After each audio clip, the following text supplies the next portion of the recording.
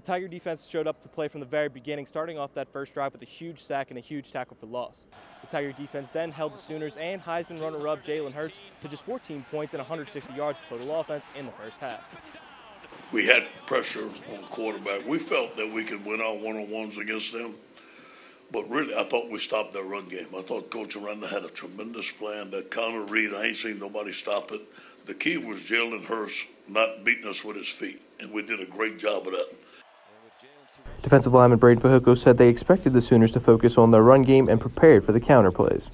Um, you know, we expected them to come out and run the ball maybe 30 times today. I mean, they're the um, kind of really the, the masters of the counter play. And so we were expecting a lot of gap schemes to lay a lot of counters. Uh, we didn't really get a lot of action up front on the D line um, as far as what the back seven got. And so I mean, I guess that's kind of a good day in the office. Oklahoma quarterback Jalen Hurts credits the Tigers' athleticism, but said it was their mistakes on offense that lost them the game. They got they got great they got great players, uh, really athletic players, fast. They play strong and they rally to the ball.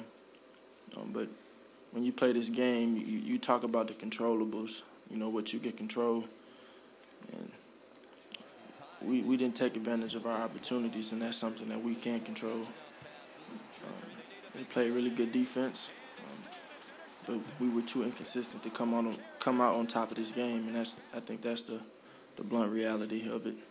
The Tigers will look to keep their streak of strong defensive performances going when they head back to the Bayou to play for the national championship in New Orleans on January 13th.